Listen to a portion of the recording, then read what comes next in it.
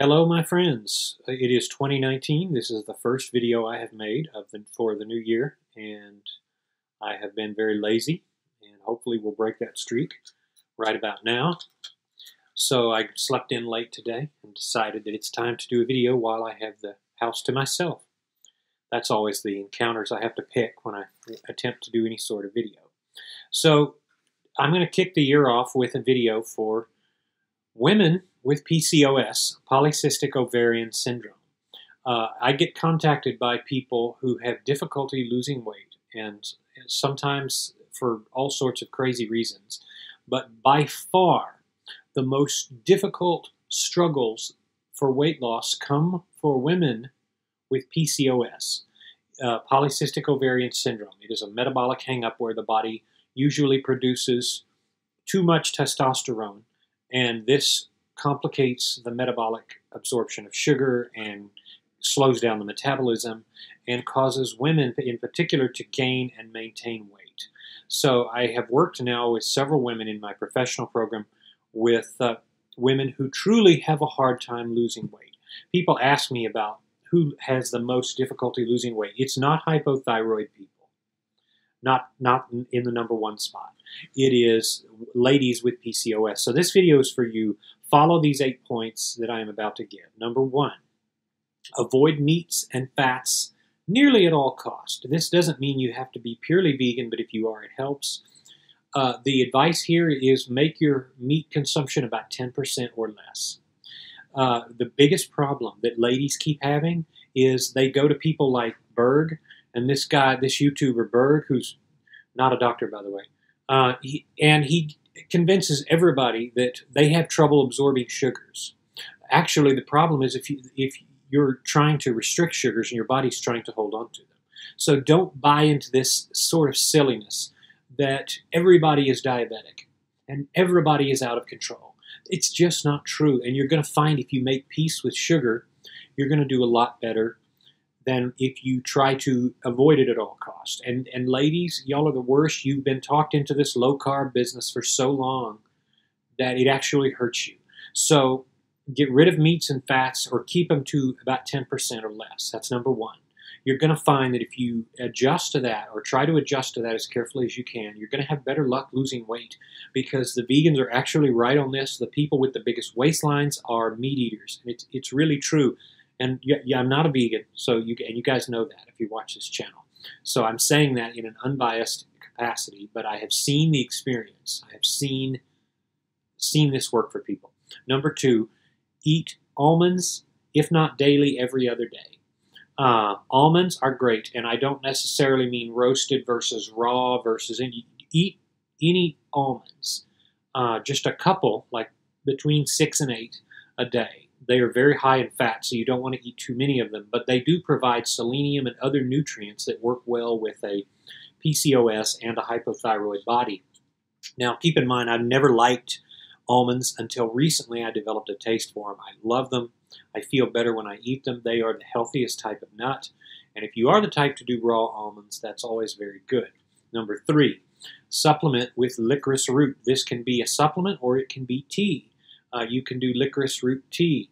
Um, or you can, again, supplement if it's easier for you. Ladies, this is the biggest tip that you will get because it regulates the amount of and balances the amount of testosterone versus estrogen, which is where you have your problem. I have worked with one lady in particular recently who was not seeing results, and then she she started supplementing. She doubled the normal recommended dose of uh, just a typical now licorice root supplement that she got off of Amazon and she's seeing nearly a full whole another pound loss per week. So supplement with licorice root. This is one of the most recommended supplements for ladies with hypo, with uh, PCOS. Number four, supplement with inositol. This is another one that does the same thing or similar to uh, licorice root. It helps regulate um, testosterone levels. And again, women, the problem is they're having too high of testosterone levels, which is it's not agreeing with their their metabolism and their body's natural makeup, their natural tendency to produce progesterone and estrogen.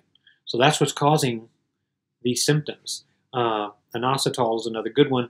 I don't have too much time today, so I'm not going to break down why that's a good idea. Number five, chamomile tea, another all-time great for uh, people with uh, PCOS. Chamomile tea has the same positive effects as licorice root and inositol. Number six, ginger tea.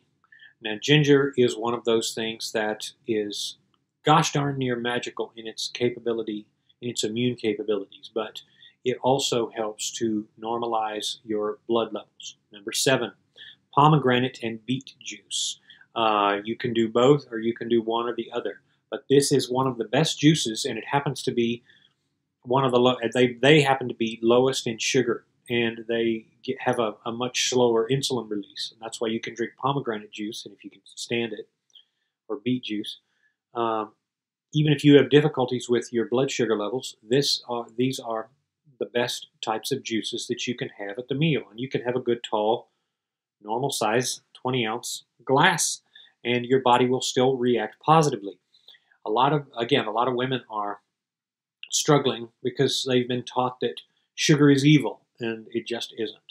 But if you're worried about it, or if you have a weakness, or if you happen to have something like diabetes, pomegranate and beet juice are some of the best juices that you can have that don't have a negative blood sugar reaction. And number eight, fennel tea. Fennel tea is something I have developed a taste for. It has a licorice taste, and I don't like licorice at all, personally. But it's it has a very clean flavor, and if you have not had it, you just take the seeds, you boil them in water, put them in a like a little strainer, and then boil them in water, and then take them out, and you will have fennel tea. And you only have to boil them 10 minutes, but it is one of the best, and it, it does have phytoestrogens, so you don't want to do it too often. But it is it is one of truly the most the best things you can do, even if you're a man and, and you happen to be watching this and you don't have any struggles with PCOS, it is still one of the best things you can do. If you're holding water, and a lot of ladies with PCOS, they have problems with the amount of water they store. But this also, again, works for men. And if you want to, uh, here's another tip if you want to combine this with uh, dandelion tea.